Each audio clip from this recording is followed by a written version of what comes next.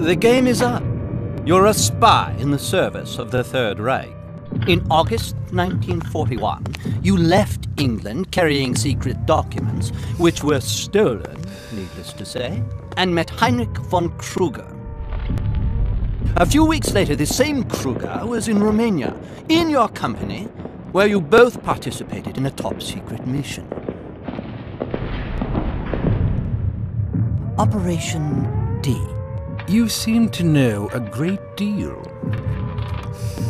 Captain Cunningham. Yes, but what we don't know is the nature of Operation D. You will give us an explanation, I trust. Does the name Vlad Tepes mean anything to you? Vlad Tepes, Dracula, the vampire.